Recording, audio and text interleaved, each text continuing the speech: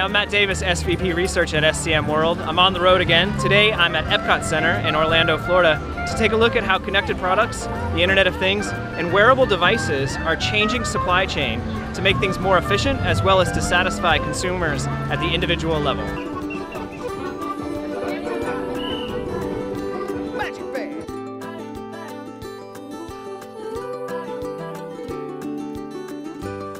Disney released Magic Bands in 2014. The way that they work is that an RFID enabled chip then allows me and anyone else who has a Magic Band to access rides, access your rooms. You can link it to a website with your credit card information so you don't have to carry a wallet.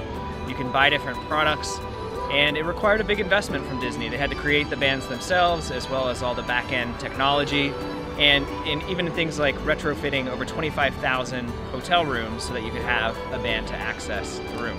So what this means for supply chain is that businesses are figuring out how to combine data, digital capabilities, and devices to enhance an overall customer experience. So the entire Walt Disney World Park in Orlando, Florida is the size of San Francisco, and in 2013, 44 million guests came to visit the park. One of the investments that Disney had to make to make the Magic Band work was to retrofit the entire park with Wi-Fi. And so that investment was $800 million of technology investment so that all of us can walk around, check our phones, and go on the rides. So my Magic Band is an example of a wearable device. In 2013, it's estimated that three to five billion dollars is spent on wearables. But by 2017, that market is expected to grow to 40 to 50 billion dollars. And wearables are just one example of the Internet of Things and how it's impacting supply chain today. So in our Chief Supply Chain Officer study, Internet of Things came in as number three of the future technologies that's going to impact supply chain, with 40% saying it's both um, important and disruptive for supply chain. The way that that's working out in a park like Disney World is that my RFID Magic Band can track me throughout the park so that Disney can know things like what I've bought, what rides I've been on. They can also track my path through the park to see what type of experience I'm having. And at some points, there will be opportunities for characters to come up, greet me by name, perhaps customize promotions. It's just a really way, a really interesting way that Disney will help improve the customer experience for all of their guests across the park.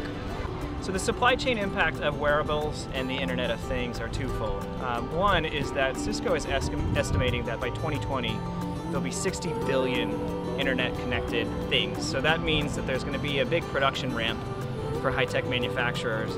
But a lot of these Internet of Things, connected devices, are going into consumer products. And so expect to see a lot of collaboration between high-tech and consumer products industries. We've already seen that through things like Nike and Apple and some of the things they've done around fitness and the ability to bring technology into our wearables, our apparel, are going to give greater insights into products that consumers want, but as well then starting to feed things like the healthcare industry and other places where if you can collect real-time information on an individual user, you can then start to use that data then to align uh, perhaps in healthcare, it could be things like therapies or making sure that people are following um, the prescription.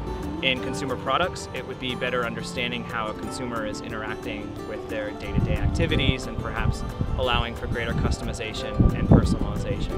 So while the wearables market is, is new, it is expected to explode through 2017 and absolutely is going to have a huge impact on the future of supply chain.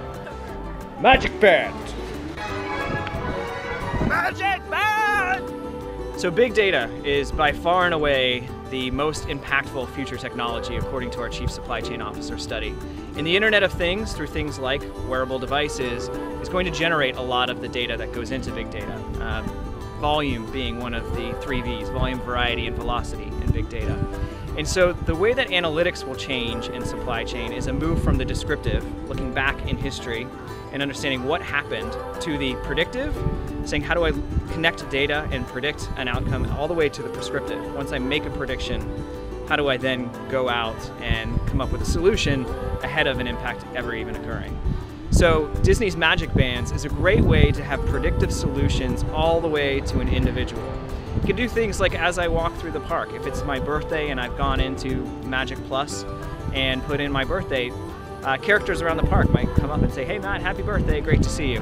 But it also will know my preferences for things like food and beverage, and by knowing where I am in the park, they might send promotions to me. It could give me a very specific offering. And those are great examples of demand shaping all the way down to the individual, only possible with big data analytics and a connection to the consumer.